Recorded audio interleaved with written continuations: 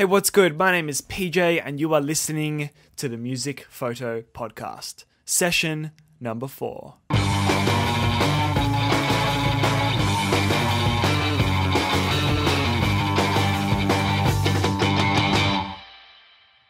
Thank you ever so much for joining us today on the Music Photo Podcast. I'm thrilled to announce that our guest this week is Mr. Warwick Hughes of Sink or Swim Productions. He's a music videographer and more recently a music photographer. He does music videos and live videos working with bands such as Northlane, Hellions, Graves, Trophy Eyes, and many, many more. You are going to absolutely love this one. In this episode, we discuss moving to the big city to chase a dream, the importance of your business name, working overseas, getting the attention of a label, and so, so much more. As always, the show notes can be found at bigpantsphoto.com slash podcast. I hope you enjoy it. If you do, make sure you subscribe to us on iTunes or Stitcher. That means you'll get the the episode delivered weekly to you every Monday. You won't even have to download it, you can stream it for free. And now, without further ado, I introduce to you Mr. Warwick Hughes. Warwick, so good to have you on. How you doing, my friend? Yeah, pretty good. How are you? I'm excellent. I'm sorry for the technical disruptions. Thank you for your patience. That's all right, mate. All good. So, you're originally from Ulladulla in New South Wales, is that right? Yep, small little town there, nestled away on the south coast. It's And- good. Yeah, nice one. Did you move to Brisbane or did you just commute to Brisbane? Uh, I moved to Brisbane. Um, just decided to move somewhere where there was a high population and there was actually courses there for me to study in terms of film. So yeah, that's why I moved up there. Oh, so you did study like post high school? You studied film? Yeah, yeah, yeah. It was like a um a diploma of screen and media. I'm pretty sure that was it. Yeah. Okay, cool. Do you, looking back, like if you had your time again, do you think that was worth the two or three years you put into it? Oh man, uh, part of me says yes, part of me says no. I'm just gonna say no, actually, because I spent most of my time uh, bailing lectures to film bands and concentrate on networking with bands, um, which luckily turned good for me. But I don't recommend it because it's a pretty risky thing to do. yeah. So coming from Dulla to Brisbane and eventually Melbourne, how important has that been to your business and your network? Like, you know, let's say someone, let's say there's a a young person that's living in a country town. How in person is that to move to a hub like Brisbane or Melbourne? Um, it's obviously better for business because it's more of a market. Like we we don't really have many bands coming out from Ulladulla except for half the lineup from Tonight Alive is from Ulladulla. Okay. And there's a DJ artist called Yahtzel. I hope I said that right because he got like number 40 on the Triple J Hottest 100 recently. Okay. So that was pretty cool. Um, so yeah, it's uh, it's it, it's just more important though because like you know in Ulladulla that's all what came out for us, and obviously in the city it's way more frequent than that. You know. Yeah. So yeah. So and okay, so you moved to Brisbane. When coming from Dulla to Brisbane, what sort of network did you have in the scene already, or did you basically start fresh? start fresh. I literally knew no one. I used to go to shows at a venue called The Fort, um, and I just tried to meet bands there and people in general that were just in the same music scene, I guess. Yeah. Um, and then from there, I started going to a lovely establishment called Rosie's, uh, which is a Destroy All Lines venue. But Yeah. back then, it was uh, pretty rough. Um, and that's how I started networking with bands because I, um, not long after I started going to Rosie's, uh, they actually contacted me to do videos for them, or I contacted them. I can't remember now. It was a while ago. Um, but yeah, they were, was pretty lucky that they wanted to have me on board and started filming their um, for their clubs and for the bands especially. And yeah, that's how it all started essentially. Yeah, excellent. You speak really, really well. Have you done this before? No, um, fun fact: I had a speech impediment for years growing up, and I'm always self conscious about talking. What sort of speech impediment was it? um, pretty much everything because I was born with really horrible hearing. So Is that um, right? Yeah, so it took me, I had to do speech therapy for years, and I still struggle to say some words every now and then. but it, it makes me a bit self conscious when I talk. Your enunciation is so perfect. I actually, I don't know if you mind, but I might leave some of this in. This is actually really, really interesting to me. Oh, okay, cool. Yeah, nice, man. So that's really good so far. So you mentioned it's really funny because I don't know if you um, had a chance to listen to any of the other episodes, but later in the session, I have a question about starting fresh and how how do you do it? What would you do it if you're coming to a new town with no friends, no connection, but you've got your skills and whatnot? So that, I think that's really interesting that you basically nailed that in the first couple of questions. so um, you mentioned that you started going to shows. Yeah. I'm assuming from what I know of you was predominantly heavy shows. Yeah, that's right. I pretty much pigeonholed myself in um, the punk and hardcore scene because that's what um, I had grown up in Ulladulla, I guess. Well, not growing up, but you know, um, when I was older and I started going to gigs, they were pretty much all punk and hardcore scenes. So yeah. Is that what you listen to as well?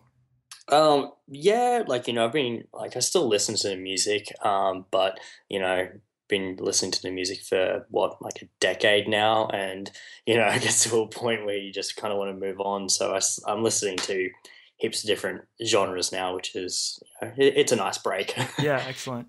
It's funny with heavy music. I know myself, and there's a couple of other people as well that have fallen, uh, like from a, to- photographer's perspective, or I'm assuming video's the same. We we fall into that because it's the most exciting thing to be around to document. Yeah, yeah. Whereas, like from this perspective of an indie band or a rock band or a folk band or something, Yeah. it's just like a bunch of dudes standing around on stage doing nothing. It's not interesting to photograph. Yeah, it's so weird. Like I worked, um, there was a DJ festival called Listen Out, um, and I was working for an artist called Zoo or ZHU. I don't know, but all I know is that there was this massive internet hype around him um, because Skrillex was promoting him or whatever. And Okay. my friend was like, "Oh, do you want to film?" And I'm like, "Yeah, sure." And he's like, "Oh man!" Like before we're filming, he's like, "Oh, it's gonna be insane! Like the set's gonna be crazy!" And like everyone in the crowd were like, you know, it's like you I, like I go to a festival show for like Soundwave, for example, and it's like a sea of people just jumping up and down and punching each other in the face, and like Yeah, it's yeah. wild, like it's insane. And here, it's like everyone's just kind of standing there and like Just nodding waiting. their heads and waving their hands in the air, and I'm like, what? Like this is so so different, but it Like was a kindergarten. experience. Yeah, like a sing along at kindergarten. Yeah, exactly. Yeah, there's definitely something apart from the bands that are just more exciting. There's definitely something to be said about the interactions as well from the audience. Like that's all Yeah. part of it at the heavy shows. That's all part of the community, which is what I love about it. yeah, definitely. Um, so, so you're you've gone from Ulla to uh, Dulla to Brisbane. You've Yeah. started going to shows and networking, meeting bands or whatever.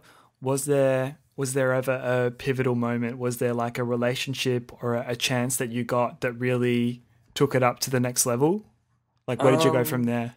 It probably like what? Oh, so there's two instances. Uh, first one would have been Northlane.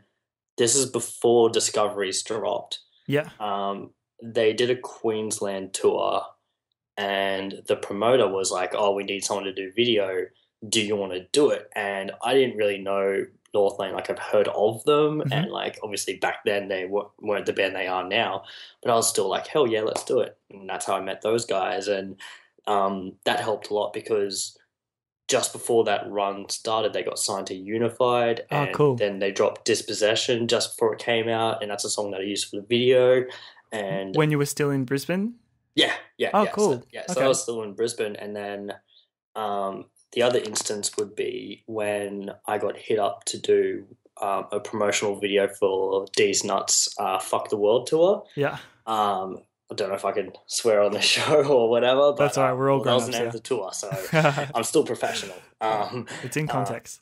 yeah, so I did that in Brisbane, and um, the Deez Nuts guys and the manager really liked the video, and they're like, "Oh yeah, let's like promote it." So they um, tagged my name, like my business name and stuff on Facebook, and I was like freaking out because like I'm just like some kid still, and I was listening to Deez Nuts in high school, and I was Yeah. like, "Oh man, this is crazy!" Like I thought I was like killing it.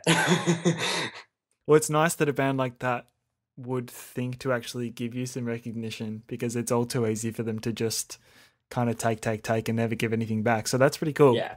Yeah, Especially yeah, I was- early on. Yeah, I was really happy about that. Were you sink or swim in those days or were you was as videos still? Oh man, that was the start of Sink or Swim. Um, Northlane was the first video that I released through Sink or Swim. okay. Um, that was the first ever video that had that name on it. Um, and there was like this little period beforehand that it was Warwick's Productions, but I didn't like having my name to it because I saw every photographer and every filmmaker, whatever, they would just have their name Yeah, yeah, or just initials even or yeah, and I was like, I just wanted to do something different. And Sink or Swim is like, all right, and this is a clarifier because I get asked this so much. So Yeah. I grew up surfing, and Sink or Swim was like a saying that we would always say growing up. So I've said it even before I heard of what like a punk band was, kind of thing. Yeah. Um, and I don't know, like that that saying alone let me led me to live a really spontaneous life. So then I I was like, you know what, I may as well just name my business Sink or Swim because it kind of ties in with everything. Yeah, so yes, it's not does. it's not from band lyrics or anything like that. Like I Okay. get asked all the time, but Yeah. it's from that. Yeah, it's not like that thing where a band will call their band after like an obscure lyric in another Yeah. band's album. yeah, It's like that. I um I think that's really fitting because you've taken a few big risks. Obviously, you've you know gotten up and moved. Uh, did you move to Brisbane on your own or with your family? uh, on my own. You did that on your own, and Yeah, since then you've moved to Melbourne, yeah, um, which I think is probably even a bit more scary than Brisbane. I think Brisbane is still reasonably close to home. Um, Close enough. no, Melbourne's closer. Is it really? Yeah, Okay. Melbourne's closer by about four hours. okay, so, that's a lot. Yeah, but yeah, like I think that's very fitting. And I, I went through the same process. I saw a lot of the other photographers were just doing their names, and Yeah. to to see that tagged with a photo or on a Facebook page or website, it's just kind of instantly forgettable. So Yeah. I wanted to have a little bit of a something to hide behind almost, and and I think it's also cool to have a an interesting name for your business. So when you're promoting it, it's not like you're just flogging yourself as well. yeah, yeah, yeah. Exactly. It's good. Cool, man. So let's fast forward a bit. You're in Melbourne now. You're picking Yeah. up some regular jobs. What? Mhm. What? Um.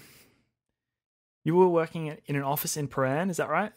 Yeah, so I was contracted by a um, small time record label called Melodic Music, and back in the day, they managed Kisschasy and Stealing O'Neal, um, bands like that kind of stuff. Two bands that I love. yeah, well, like I was in Kisschasy in high school as well, so I was pretty pretty excited about that. Um, but yeah, it was good because it gave me a stepping stone to kind of do music videos that weren't related to hardcore bands or anything like that, and it was a good growth experience. And at the same time, I could still work um, in this kind of niche field of like punk and hardcore that I've pigeonholed myself in essentially. And yeah, like it was it, like a, it was a really good opportunity to be with those guys and learn and grow from them. Yeah, absolutely. And so with that sort of deal, because I know you were doing music videos for them, or was that on your own? Yeah, so they were still contracting. They were contracting me, so I wasn't working for them. I wasn't getting like a you know paycheck from them. Like a wage, basically- yeah. yeah. It was basically like you know um, I did the video and like you know we worked out a deal. So yeah, it was good. Is it important for you? I'm not sure how you work these days, but from my understanding, you were working, you were doing all your editing and such in that office mainly. hmm Is it important for you to have a workspace that's different from your living space? Does that help? Um, oh, that's a. I would say yes for that. Um, just because it does separate work. I work from home now. Like we're currently in my bedrooms, as also doubles as my office. Yeah. And um, yeah, I think it's. I think it's a. It's really good to separate the two. You know, even now, like even now that I'm not at that office anymore, you know, I still go to cafes around the area and you know take my laptop there because usually there's Wi-Fi there and do heaps of emailing work and stuff. And yeah, it's it's definitely important to have that separation. Otherwise, you just drive yourself insane. Yeah, well, I can imagine it'd be super easy to just fall into the trap of like, you know, wake up, start working, work through the day, work through the night, go Yeah. to bed, wake up, start working, and and when it's all in the same room, I can imagine that'd get that'd get pretty hard. So it's nice that you can you can be a bit mobile for some inspiration. Yeah, definitely. So fast forward to 2015. It's Mhm. March currently. What does your what does your Monday to Friday look like these days? Uh, pretty chaotic. Um, yeah, everything's kind of just uh, taken off a bit, which is really good, but it's kind of taken me a bit by surprise. So it's uh, it's you know, take every day as it as it comes, I guess. But Yeah. yeah, it's it's pretty cool to see um, this year is you know still growing. Like it, it, like you know that's like the main goal for me is just to kind of always have that constant growth, that on constant like uh, push and motivation to better myself and my art. So yeah, it's it's getting there. Absolutely. yeah. I appreciate that. In an ideal world, how what would your week look like? I'm assuming that due to the I mean just the nature of your clients, I'm assuming the bands that you work with probably have jobs during the week. So on that assumption, I guess you'd be shooting on the weekends mainly, mainly for yeah. music videos and stuff. So in an ideal world, what would your week look like? What would you be doing like in terms of shooting, editing? How much time would you spend on the road? Oh, it's so different for everything. Um, like I'll, I'll take like this recent time that I've had in the last few weeks for video. It's been it's been really good. Um, I like editing during the week and shooting on the weekends, um, and that's kind of the I like what I've got now. And you know what? Like I I think it's pretty good because I'm not to shoot a music video only takes one or two days unless they want like you know a huge elaborate thing and you know then it's that's a whole different story but most of the time it's only one or two days shoot so you know to do to sacrifice those one or two days on the weekend every few weeks it's not it's not that bad you just kind of get used to it after a while i guess because like you know you you want to do stuff with your friends but that particular weekend they might be doing stuff anyway so it works out for the best Sure. so yeah. yeah yeah. yeah, Uh, it, it's it's a good setup. I can imagine that also a lot of the bands that you work with are your friends. I'm I'm sure there's an intersection there. Uh, Yeah. just just through the nature of the industry and the community. The uh, Yeah, music yeah. community. yeah, it's very very important to. Um, I think it's a very important thing to, um, you know, become try. Well, not like you know, have the main goal to be friends with them, but you know, if they if if you get along with them, then why not? You know, Absolutely. yeah. So going back to that question a little bit, in an ideal world, how much would you be touring? Like what what would be the dream in terms of how much time you spend on the road? My ideal situation would, be tour full time, but not so chaotically that I would destroy myself. Essentially, it's just Yeah. something about being on the road. I guess, like you know, last year I spent half the year living out of a bag, and I wasn't even touring last year. I was doing music videos just all around the It's country. going from and- shoot to shoot, right? yeah, and it was it was awesome. Like you know, it got to a point where you know I was wearing myself out, but at the same time, I like I'd wake up every day and be like, "This is cool." Like I'm in somewhere different. I'm shooting something different, and I was like, I, like that kind of got me in my head to um, want to tour full time because it's like it's like you're doing the exact same thing, but you're just doing one client. Yeah. so yeah, it's good. You mentioned just then that it takes a bit of a toll on your body. Yeah. Can you talk a little bit to the burnout that you have experienced recently and you know why, why that sort of happened? Um, basically, I didn't know how to manage anything because last year was by far my most successful year that I've had to date. Um, I shot more videos than I could have ever imagined. I traveled way more than I could have ever imagined. Um, but at the same time, I didn't know how to manage my body, so I was eating takeout food, like drinking endless amounts of coffee, and there was two instances last year that I nearly put myself in hospital because like my body just burnt out and just crashed and like you know like don't want to go into too many details but like you know I'd like be walking down the street and all of a sudden feel lightheaded and I'll just like vomit everywhere and like it was like a really nasty situation. Um, so that was a huge turning point for me. It was like, all right, cool. I'm obviously really busy at the moment and it's not good for my health to to keep doing this, um, living off this crap food essentially and pushing drinking enough coffee to kill an elephant. so I just um, I just decided to take more care of my body so I don't um, it's been like six months now since I've had my last burnout, and I don't um, don't eat any fast food anymore. Um, I eat as much fruit as I can every day, and um, cut down on my caffeine intake, and I just feel way more healthy. You know what I mean? Yeah, like, absolutely. I just feel like I can Step I- out of bed easier, right? Yeah, yeah, exactly. Instead of waking up and just feeling like absolute crap and just wanting to die, so it's um it's a good change, and it's very very important for sorry anyone to have like a really busy schedule to concentrate on their health because at the end of the day that's what's going to pull you through. Yep, absolutely. That, I mean, that sounds horrible. I've I've yet to experience anything like that. But on the Yeah, plus side, recommend it. on the plus side, how fantastic that you have a job that you're so passionate about that you forget to eat or you forget to eat properly. Like, yeah, like it could be worse. You know, yeah, you could yeah, be sitting in an office all week and. Oh, anyway, man. that's fine. I don't think that's your. I don't think that's going to be your life anytime soon. Hope not. Um, so you did do a lot of travel last year, um, in Australia and overseas. You went to America and Canada. Is that right?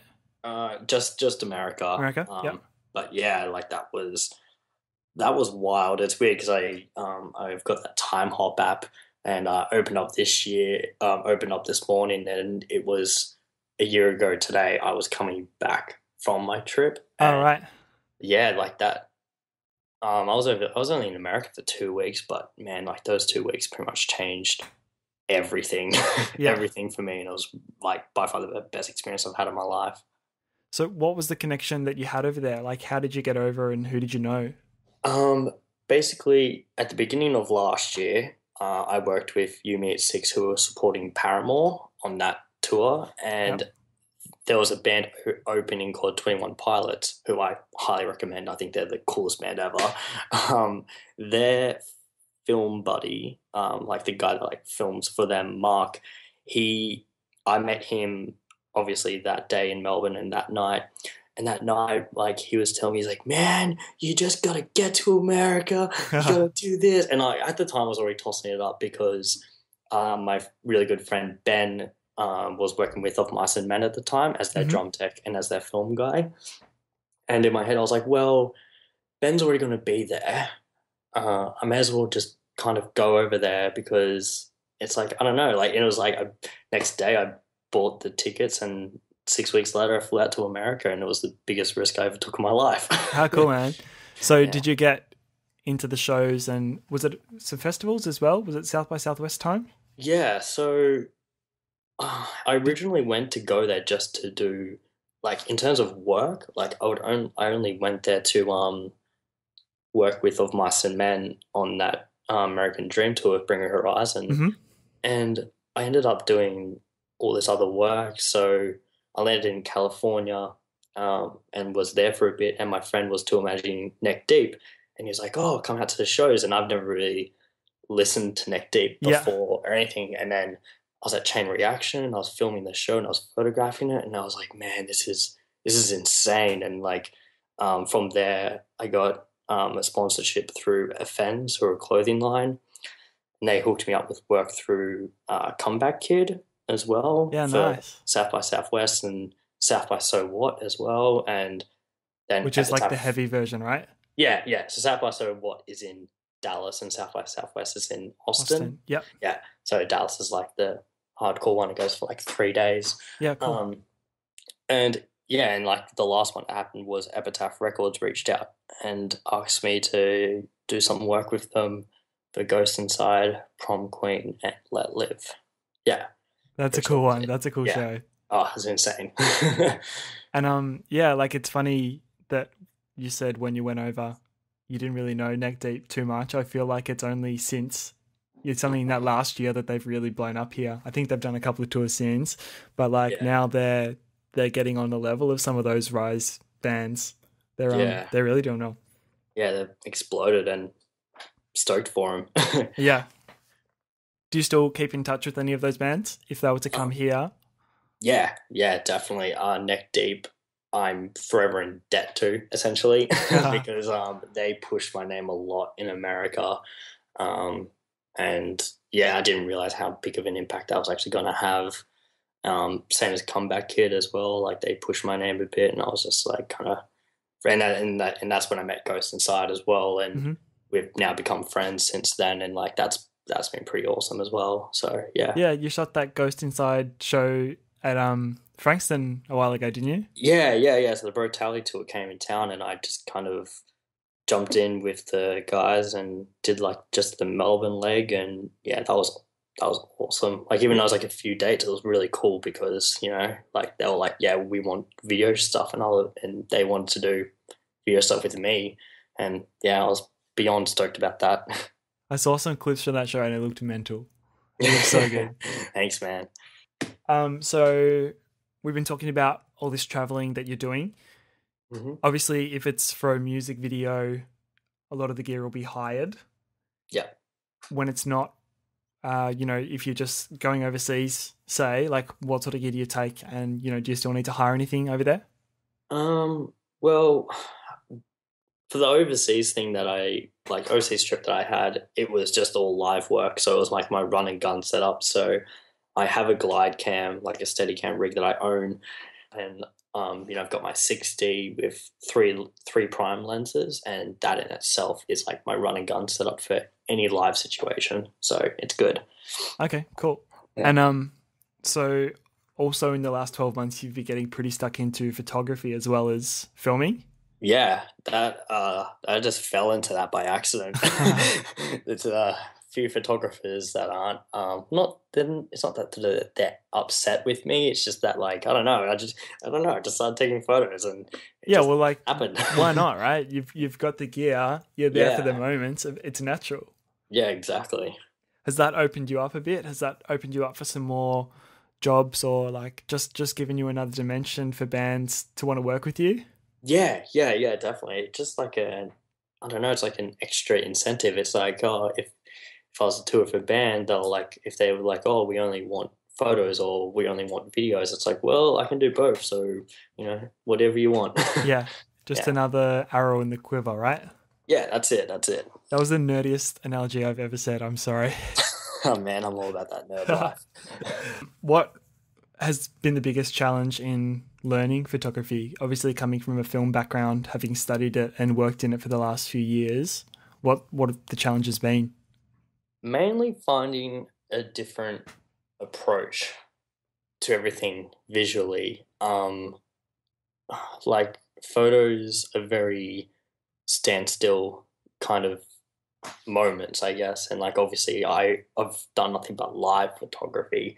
Um, it's just trying to find that point of difference that people will look at it and be like, oh yeah, you know, like that's like like you know what I mean? Like it's like that trademark look, for example. Sure. So like I know Elmakias does it a lot. Like you know, he started doing that on stage portrait stuff, which started that whole wave of kids wanting to do that. And just recently, he's done the whole rigging the camera up to the lighting rafts on top and getting that massive fisheye. Oh, doing like the remote thing, Yeah, yeah, yeah. I know Kane did that as well at Yeah. a Amity show or the something. Amity like that. shows. Yeah, I've seen Yeah. those photos. They're ace. Yeah. Yeah, so it's just finding that point of difference because, like, yeah, like especially in live photography, with the amount of photographers that are doing it, you you got to be on it, man. You got to find something that's going to separate you from everyone else. So yeah. that's Well, really important. that's certainly uh it's a big thing in Melbourne at the moment. Like there's a lot of kids taking it up, which I love because I I actually love it when someone wants to learn because then they appreciate the skill and the art. And Yeah, they're, they're like, well, okay, maybe this is not as easy as I thought. I thought I could just get an SLR and like start a business and succeed, but like oh man, story of my life, like, like seeing that. Yeah. it's, um, it's a bit it- of a bit of a trend at the moment. There's a lot of kids starting, but yeah, I love it. It's good. It's good to see them at shows. It um sometimes unfortunately it feels like everyone's trying to compete with you. It feels like everyone's trying to step in and get the shot, but I think for the most part everyone's really good to each other. Yeah, it's definitely definitely has its um its like positives, but it's positive and negatives to everything. Yeah. Uh, like I personally think it's a bit unfortunate that a lot of kids are getting into it for the wrong reasons, kind of thing. Like you know, they're like they're like, oh, Elmakias has like three hundred thousand followers on Instagram, and all he does is take photos of bands. Man, I want to do that, and it's Ah, like okay. and like, yeah, in my head, I'm like, oh, well, you know, you gotta enjoy it, I guess. Like, Yeah. people want to people want to try and make a brand of themselves rather than enjoy the art, I guess. So that's me coming from a MySpace era, which was like back then when you wanted to be when you wanted to photograph bands back in MySpace, photograph or film. Um, you were never known. There was no such thing as like a well-known photographer or well-known Right. filmmaker back then. The only one I ever knew of back then was Hartley because Oh, yeah. you know Hartley's kind of grown with the bands as, as they've grown. So you know, other than that, like now it's like because of Instagram and stuff, it's pretty um like you know it's a different market, I guess. Yeah, there's So- like photo celebrities now, right? Yeah, it's weird. it's like, um, you know, it's kind of weird that uh, it's a different world that you know I'm slowly adjusting to, but it's I don't know, it's cool. Nevertheless, like it's great. So Yeah. if if someone appreciates your art, then man, like that replaces any form of success and money in my books. So yeah, Yeah. Sometimes that's all we need, right? Just a little bit of recognition. yeah, Just- just that pat on the back, dude. just even, yeah, just like, just to ask if you can use your photos. I mean, what photographer you know is going to say no if someone asks nicely? Yeah, exactly. I remember when that started, um, like when kids started, like, you know, asking me to share my photos around, and I'm like, what? I'm like, this is like, and back then it wasn't even photos; it was like screenshots of videos. Right. Um, yeah, and like, I, I don't know, like I, like I'm beyond humbled, beyond, like honestly, like I have thousands of people that are doing what I'm doing. They've chosen my art, so yeah, it's good. It's good. That's excellent. Yeah. Yeah. I, I tend to think that so long as the person is doing it to create value, you know, for a band there or, you know, whatever their chosen form of photography is, so long as they're trying to put value into the world, like I'm okay with it, even if they they want to be internet famous, if they want to build Yeah. a following, if it's coming from like the right place, that's all good with me. Yeah, yeah. positive vibes, man. Positive vibes. Um, one question I actually thought to ask you when I was in the shower earlier. Great, Um, great time to ask me a question. Yeah, I do Think my of a shit thinking. I actually think of you in the shower frequently. Oh. Um, no, I actually have I have these waterproof notepads in the shower, and I actually write down so many. Like you get all your good ideas in the shower. So anyway, that's enough dude. about my showering habits. Um, when you meet a bigger band, when you meet someone that you revere or idolize, obviously we all get nervous, like in the lead up, right? yeah. Do you think it's better to know or not know about them? Like, I'll give you an example. Let's say, let's say you're meeting the Ghost Inside, right? And you had heard of them, but you didn't know any of their songs. Do you think it's better to jump on and do some research and get familiar, or is it better to go in not knowing and not being as nervous? Oh man. Jeez, that's such a tough one. um, I mean, I guess it's probably a hard question for you because you're pretty familiar with a lot of these bands already. yeah, it's well, it's the fact that like you know it's good to research a band. Say for example, the band wants to tour with you. Obviously, the right thing to do is um, watch previous performances and kind of study up on how the stage movements are like and everything. And like you know, the lighting's probably going to be different, but you know what I mean, like the stage movements especially. Yep. Um, but at the same time, it's good when you're going in blind because you don't know what to expect. Yeah. I guess, and I'm all about that. I'm all about not not expecting it and just getting hit in the face and be like, really makes you think on your feet. And I love working under pressure like that. Roll with the punches, right? Yeah, that's it, man. I'm always afraid that if I look like I know too much, I'll come off as a fanboy. Like I, Yeah. I've not worked with too many high profile bands to be in that situation many times, but um, a couple of times recently I've been doing some stuff for a small publication from Sydney, and they've sent me out to do some photos or like film an interview, and it's like these international bands like I don't want to learn too much and then look like a fanboy. It's kind Yeah, of it's yeah, kind yeah. of I feel like it's good if you eh, border on don't caring rather than caring too much. Yeah, yeah, yeah. Because I'm sure they see that all day, every day. Yeah. In the same sort of creative industry, it can be here or overseas. Is there someone doing something similar to you that you really aspire to, that you really admire? Hmm. Definitely. Like I definitely have people who I look up to. Um, Tom Welsh, especially, especially um, when when I first started watching his videos. In so I first started watching his videos in 2010 or 11. Um, I found his work and I was like, I was like amazed. I was like, yeah, this guy's sick and constant inspiration. And then I worked. Then I met him when he was here on with Architects on the Amity tour on the Chasing Ghosts run. So that was when he was filming the DVD. Right. Um, and I met him, and it's the first time I've ever been lost for words for someone. Oh, like I really? was stumbling on my words, and like because he turned to me and I was um I had a, cam- a camera in my hand. He's like, "Oh, you got the same lens as me," and in my head I was like, "Oh my god!" Oh, like freaking out. And um, but yeah, since then, like you know, we've become friends. We've worked together. Um, worked together a couple of times, I think. Like we worked together when You Me at Six have come to Australia yeah, I remember. And um yeah it, like he's still a constant inspiration like he's just released a couple more music couple of new music videos for while she sleeps Mhm. and they just blow me away i was like damn i gotta step up my game so That's good though. It's it's good to have something to look to and something to, yeah, like keep you keep you on your toes, keep you inspired. yeah yeah so i probably would say him like that's like probably the first person that springs to mind i Mhm. guess and um mark as well who films 21 pilot stuff he's again he's just a creative genius and um, it's cool kind of seeing his ideas come to life as the band grows and they get more of a budget to actually work with those ideas Sure. um, yeah it's like constant inspiration Nice, man. Um, this is a bit of a random one. It's like kind of going off topic a bit, but do you have any? I, I love this stuff. I love the techie geeky stuff. Do you have any apps or gadgets that make your life and your work easier? Hmm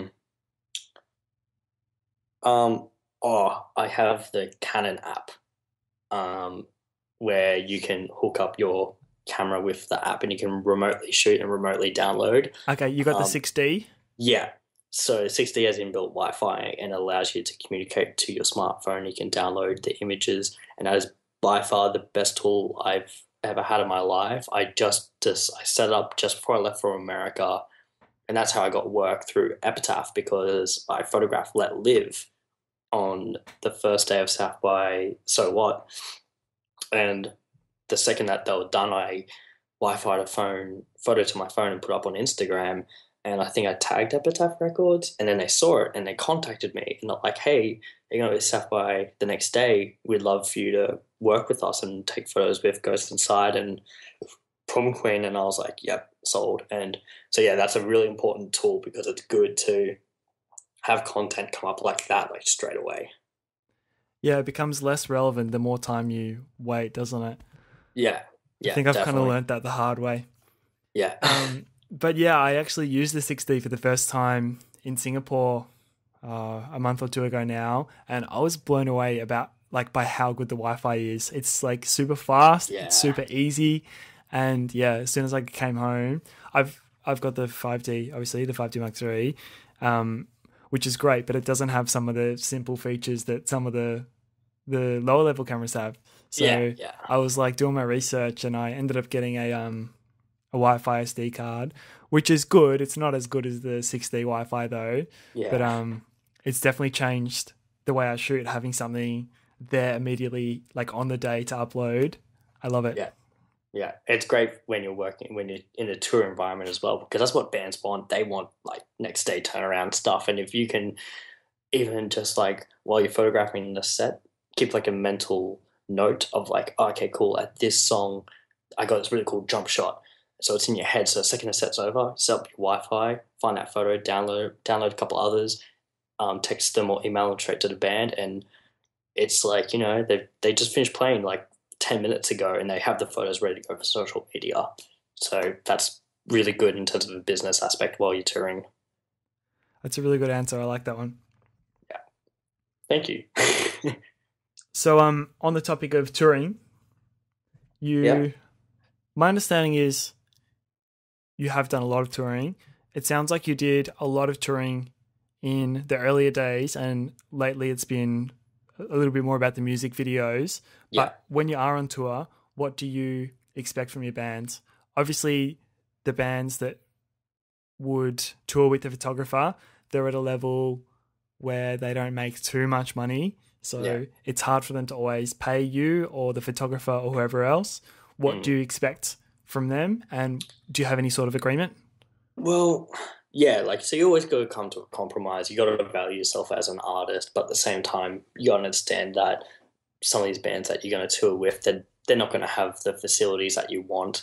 Uh, and this is a very important tool that I think a lot of up and coming photographers need to learn is that if you jump on a tour as a photographer, you're bottom of the food chain. You can't you can't like be like, oh yeah, like can I have like a rider or anything like that? It's like, nah man, like you are like even with bigger bands, it's the same thing. Like the bigger the band, you're still at the bottom of the food chain Right. and um, yeah, you just got to take it as it comes. So um, obviously, in like a business aspect, that's a different thing. So if you're working with a band like I don't know, Bring Me, for example, like you know, Bring Horizon are huge, and like you know, they can accommodate a wage for you or something like that. Sure. But you know, um, a smaller local band that had just started touring, they're not going to have the money.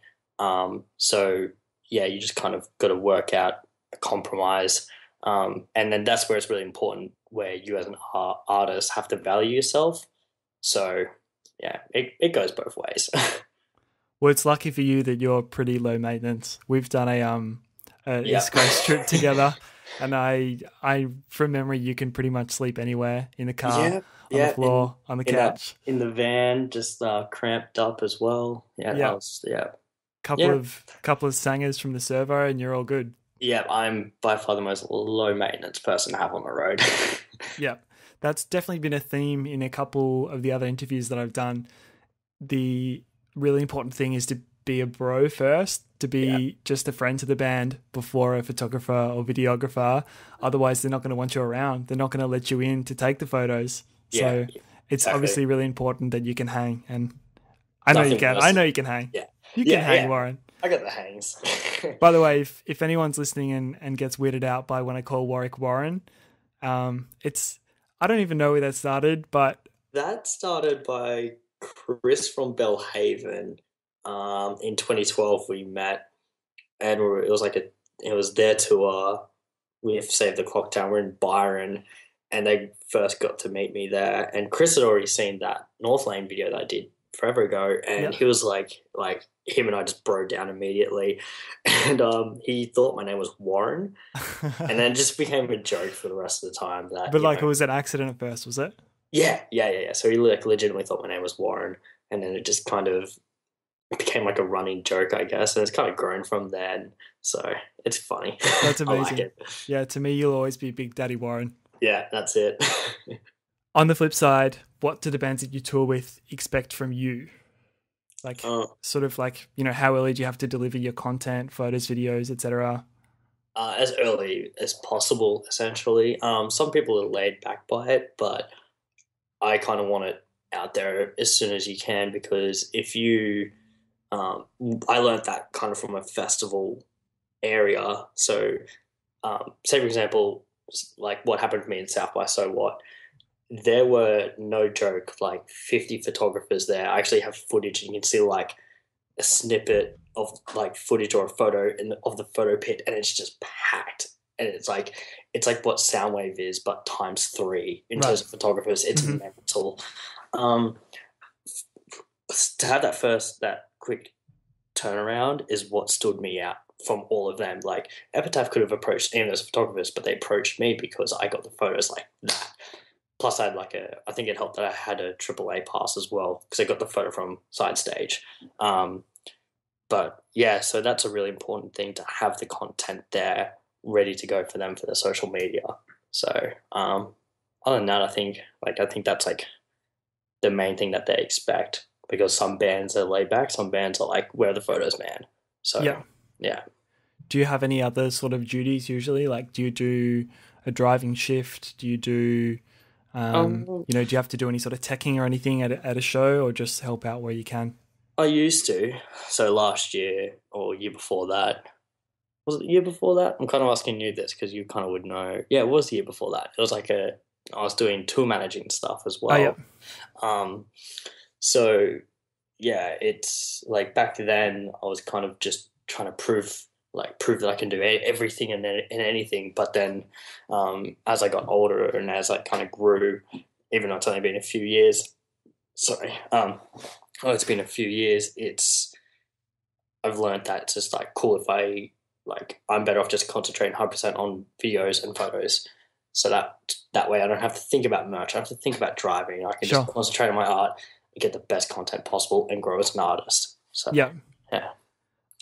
I, I guess at least it's good that you can do those things because that's another reason that a band might pick you over another guy to take on the road because you know you've got a few extra skills. You can do merch, you can drive, you can Yeah. you can help out where you need. So it doesn't hurt. Yeah, so take that as a note for photographers coming up and like you gotta learn to be doing you gotta be able to do everything Grassroots to start with. Yeah, that's it. Nice one. So we're at the final section now of the interview. yeah. This is what I ask everyone, and I'm even though you've already half answered it, I'm pretty curious to hear what you say. Alright. So let's imagine tomorrow you're starting from scratch. You Mhm. have all your photo and video knowledge. You've got your camera and you've got one lens and you've got $500 in your pocket. You're in a new town. You don't know anyone. How do you start your business again? network. It's the only thing I can say. Just network, meet everyone and anyone. It's the only advice I'd really have. So and save you the money. Save the money for the love of God. save the 500? Yeah, save the 500, put it in a bank account, let the interest slowly build up because that'll help you in the future, all right? 2% per annum? yeah, that's it, man. It'll pay off in its uh, in the end. Where does the network start from though? Where do you go in this new town for the Um, network? Um we're assuming they have gigs and a music scene. yeah, go find find out. We there's this wonderful thing called Google, um, where you can type in the town, you can find out where the gigs are at, and just start going. Essentially, it's it's not that hard, honestly. Especially with now with social media, it's super easy to find out where the venues are, who's the managers of who, who's the booking agent. It's really easy to do now. Yep. Yeah, I get the inboxes, and I'm sure you get exactly the same. Like uh, younger kids getting into it, they'll be like, "Hey, man, like, how do I get started? Like, how do I get into this?" And Yeah, basically, just what you said. It's like, well, yeah, go to the gigs, take the Mhm. photos, shake the hands, yeah, post them that's it. online, rinse and repeat. Yeah, I used to in Brisbane. I used to like beg the promoters because I was I was a poor uni kid and I couldn't afford to go to shows. I used to beg the promoter to let me in for free, and in turn, I'd film the gig for them and things like that, and and it worked out well. So yeah, Nice one. So the next, the next few questions are what I call the cheesy gut reaction speed round. Just like a, a one word answer is fine. If you want to elaborate, go for it as well. But um, just your just your gut feeling. Canon or Nikon? Canon, Canon. All the way. You didn't even hesitate then. Oh, you're a video guy. That's why. I shot. I, I filmed on Nikon before. Never again. Really? Canon. Yeah. Okay, Canon. Canon it is. I'm Canon too. Zoom or Prime? Prime, prime. Come on, man. You gotta have that low, like you know, like that depth of field, that low aperture. Like that's that. That's what you want. I actually Sorry. just recently got the Sigma 35 1.4 Art, which I believe you Oh. have as well. mate. Oh, it's the lens. dream. It's it's Best so hard to shoot anything else after shooting that lens. Yeah, exactly. Um, you don't use much flash, do you? no, I don't use any flashes. Okay, well I'll leave out I've- that question. No, no, you can ask that question because I got a good answer to that. Okay, I was heard that say. I was gonna say on camera or off camera flash. um, I say no flash because it makes you challenge yourself as a photographer to get the shots of no lighting. I just did photos with Hellions um, at a venue called the Lab in Brisbane. There Yeah. was pretty much next to no lighting, and I still managed to get lights. And same concept, you just got to challenge yourself. Yeah. So yeah, That's a good answer. thank you. I appreciate that one. Live shows or posed pictures? Oh, this doesn't even count for you. You're a video guy. Come on, it's live, Um, live shows, anyways. Okay, well let's no one likes say controlled environments. let's Come say on, live shows or music videos. If you had to Live do one forever. live shows for sure. It's constantly different Um, yeah, it's an uncontrolled environment. It's better. Okay. Mac or PC? Mac for sure. I've got a PC right here. It's gone to crap. Mac all the way. Well, your your Mac's pretty beat up from what I can understand. Oh yeah, well you just gotta take care of technology, and I'm I'm sometimes bad at that, so I've broken my screen. When um, for anyone listening, when Warwick was working at what's the company called Melodic Music? Yeah. When Warwick was working at Melodic, uh, he bought this beautiful new 15-inch Retina MacBook Pro, and in the first week or so, the intern dropped it and basically stuffed the screen from the start. Yeah, bumped it, bumped it while I had it on my lap, and it fell out. But you know, I shouldn't have had it on my lap. I Should have had it on the desk. So there you go. You live and you learn. Yeah. And you've kind of answered this. Damn it, Warren, you're like beating me to the punch. If you only had one lens forever, what would it be? Oh, Sigma 35. Or like 35 in general. It's the most diverse lens that you can have for both full frame and crop sensors. It's just visually very pleasing, isn't it? That's it. Um, that's pretty much it, man. So, where's the best Cool. place that I can send people to check you out online? Um, probably my Instagram because Facebook's gone to crap now. Um, Yeah. So my Instagram uh, Instagram is Warwick Film, um, spelled with two W's. And if I'll, you know um, we put the second W, then kudos to you. I'll link it all up in the show notes so everyone Cool. could get the spelling right and everything. Ah, right, awesome. Um, you just reminded me of one more thing that I want to get in before we leave. Yeah. Um, in terms of the social channels, Facebook, Instagram, Twitter, whatever. Um, what are the challenges as a video guy? Obviously, Facebook is a killer because anything with a link in it, it just won't show in the newsfeed. It'll just Mhm. absolutely destroy the reach. How do you how do you promote your videos? How do you get them seen? Um, you just gotta be lucky that the band you're working with it has a lot of friends. Yeah. essentially. Um, I remember when we did the Graves video before we released it, we had a Facebook group and they invited like hundreds of people that they've met along touring and everything, and the video just spread like wildfire. Like I was at the movies as it got released, it was like seven p like seven p.m. that we released a music music video, and I turned my phone off because you know we're in the cinema. I want to, I want to, you know, I pay like twenty bucks here. It's like Sure. ridiculous. Yeah. So like you know, I want to enjoy the cinema. Um, watch the movie. Two hours later, open it up, and it's got like eight and a half thousand views like that. Wow. In one I was night. like, it just blew up. It was awesome. Yeah. So, was that was it like a almost like a virtual launch party that they made, like a Facebook Yeah. group? Was it? Yeah, yeah. Cool idea. I still have that group up here. Actually, I can quickly, quickly Hit me tell with you some how numbers. people in it. The numbers were 117. And what's the video at now? Oh, that's a. All right, let's see. Oh, come on. There's links kind of everywhere. All right, cool. The video has fif- 56,000 views. Nice. Yeah. And so you reckon there was like eight thousand views in the first night alone? Yeah, in like two hours, it got like eight view- 8,000 is- views. Amazing. Like, I was even, like, we were all just like, holy crap, like, that's amazing. And it was the same as Trophy Eyes as well. Trophy Eyes had the same thing. I think it was like in the first 24 hours, Trophy Eyes got like 10,000 views and it's nearly at 100,000 views now. It's just like blowing my mind. That's unreal, man.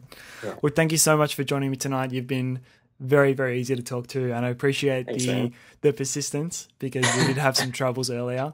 that's right, man. Thanks for having me. Um, it's been a pleasure, and we'll have to do it again sometime soon. We'll do an update in the future to see what you've been up to. Yeah, definitely, dude.